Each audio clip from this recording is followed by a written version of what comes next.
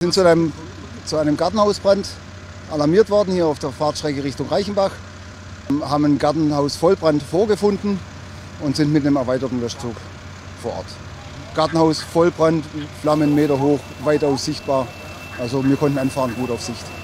Derzeit sind drei C-Rohre im Brandeinsatz und zwei Fahrzeuge im Pendelverkehr, weil die Wasserversorgung hier extrem schwierig ist. Einen Verletzten, der da unten wohl nächtigte in dem Gartenhaus oder sich aufgehalten hat. Aber über Art und Verletzungen kann ich nichts sagen.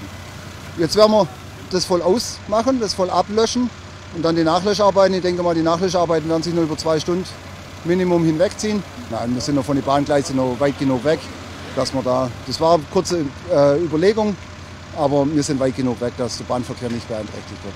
Entdeckt, ja. Sofort angehalten und Polizei angerufen. Ich wohne in Reichenbach. Ne? Und ich bin auf dem Nachhauseweg und sehe, dass das brennt. Ne? Sofort angehalten.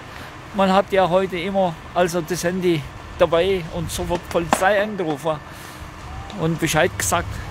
Oh, also zum Teil höher wie die Bäume da hinten. Dann sind sie äh, teilweise hochgeschossen, dann sind sie wieder niedriger, da ist irgendwas Brennbares hat gebrannt und dann wieder niedriger. Aber das hat dann schon gebrannt. Gell?